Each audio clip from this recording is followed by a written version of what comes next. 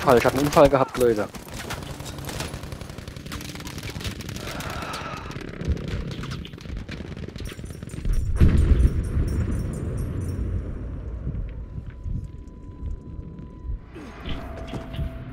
Keine Ahnung.